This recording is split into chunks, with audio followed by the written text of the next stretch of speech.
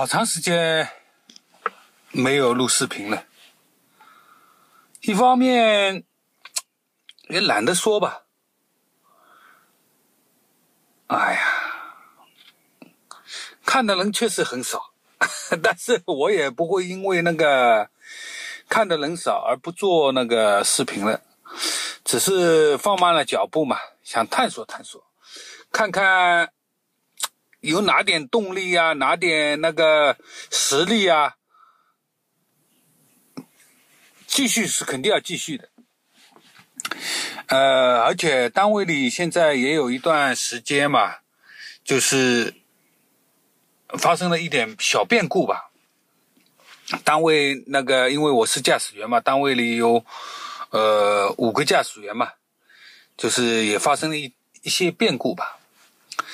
上次我看到一个，就是好几天之前了，一个星期左右吧，之前吧，看到了一段那个银桥股份，那个银桥股份好像是那个，呃，搞环境的，就是呃，好多那个就是打扫卫生啊，马路清洁工啊，就是呃。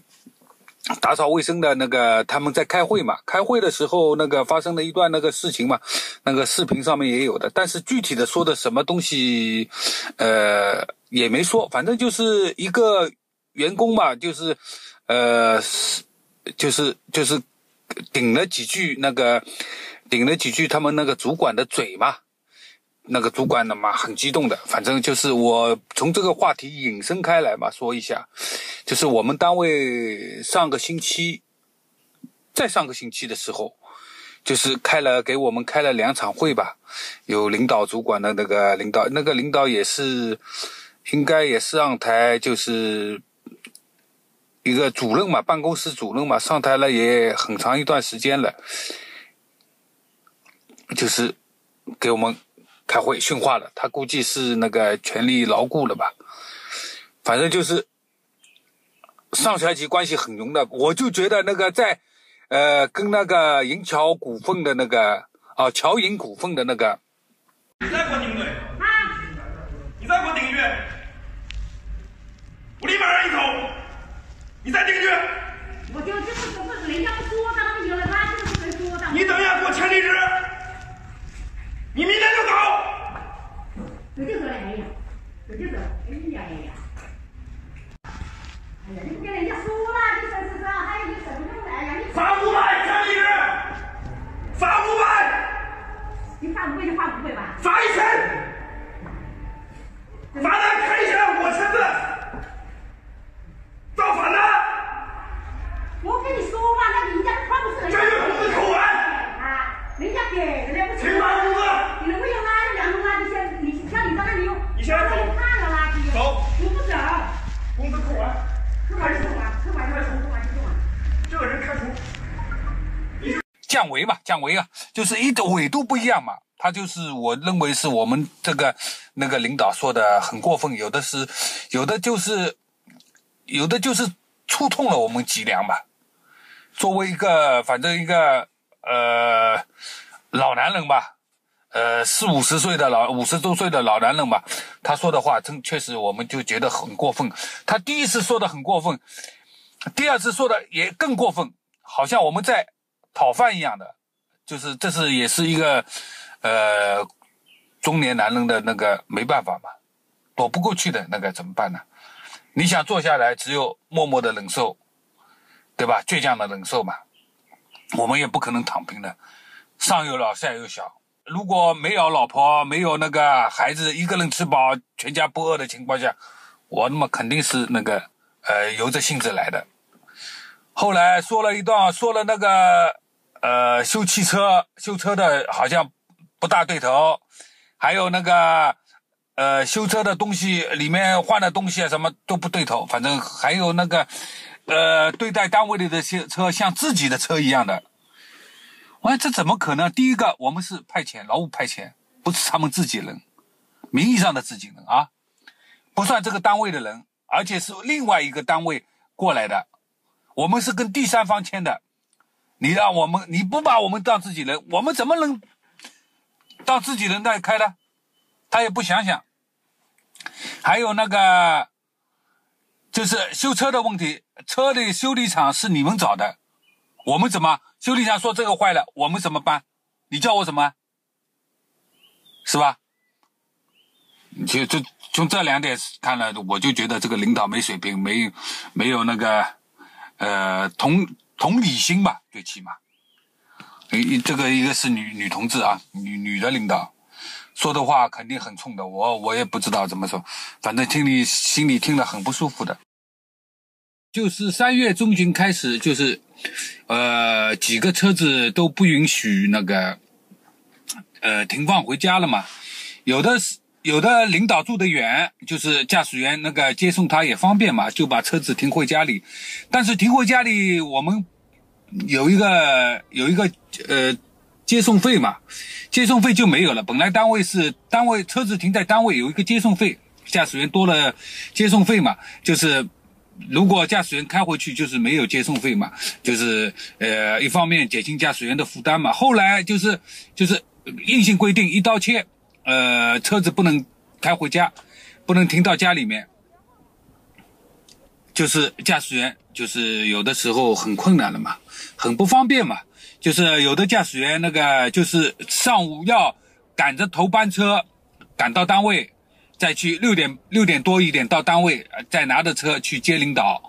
领导基本上我们是八点半上班嘛，有的领导喜欢很早就来的嘛，就是还有呃晚上回去就有很晚了，有的是有的一个同事嘛，到家里大约基本上要七点半。他是四点半起床，五点钟出门，七点半到家回家，所以说劳动强度太高了嘛，就是跟领导反映，就是这个性价比，像我们外聘的员工啊，呃，基本上就是拿不到他们正式员工、正式的驾驶员的员工的一半的工资，一半工资都没有，所以说区别很大的。呃，后来有一个做的时间挺长的那个驾驶员嘛。他觉得没必要再做下去了，后来就是把那个就辞退了，就是不做了嘛。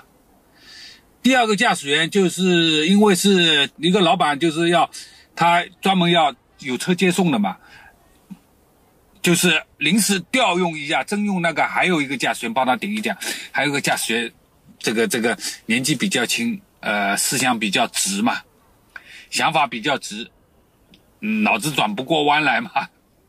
有一点鲁莽，就是怼回去了，把他那个你叫的我就不接了，太远了。后来就没去接，没去接了以后，就是过了一个双休日嘛，后来单位就把他辞退掉了。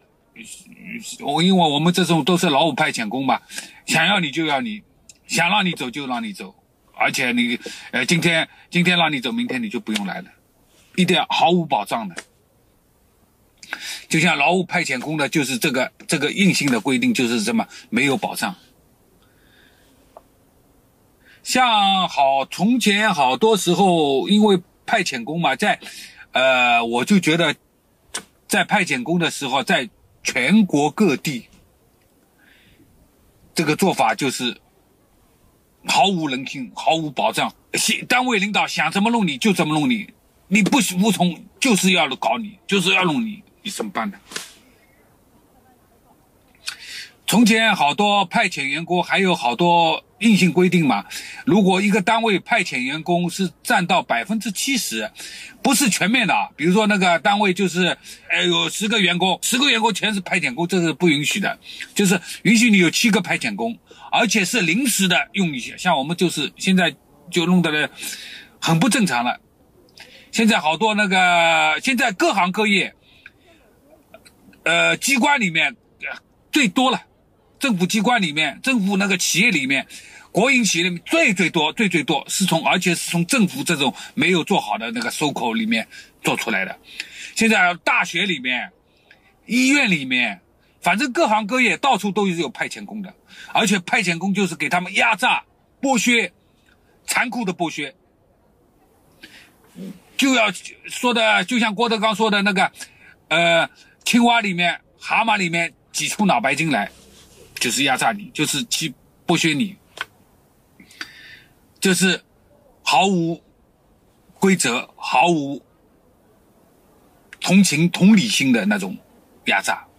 所以说，像我啊还有一个同事啊，年龄都都都都都五十多了，所以说也没办法，捏着鼻子做嘛，强忍的忍下来做，怎么办呢？呃，这个事情我就想说三点。